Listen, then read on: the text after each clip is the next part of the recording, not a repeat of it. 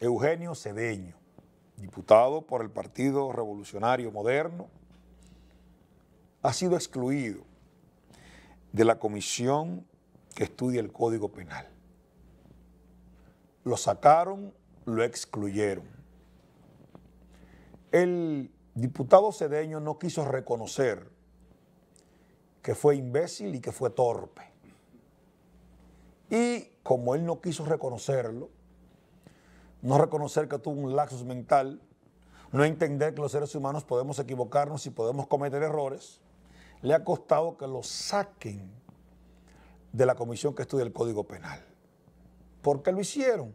Porque Eugenio Cedeño, primero fue un medio de comunicación a exponer sandeces y absurdos.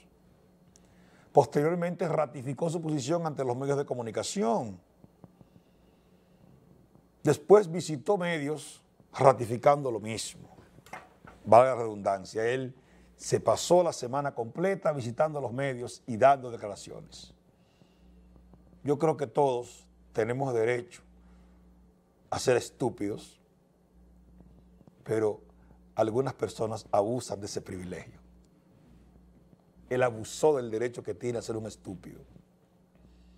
Y por ello le costó su exclusión de la comisión que estudia el Código Penal, que por cierto, a Eugenio Cedeño lo conocimos después de la metida de pata.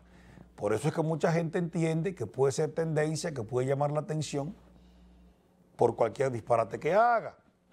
Porque ahora la gente perdió la vergüenza y lo que menos le importa es que digan que es un tarado, que es un estúpido,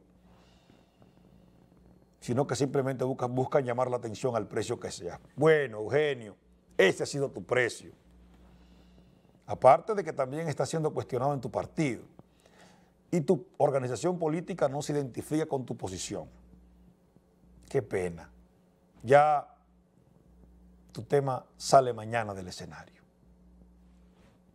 Y yo saldré de ti desde ahora. Final de mi parte, loco viejo.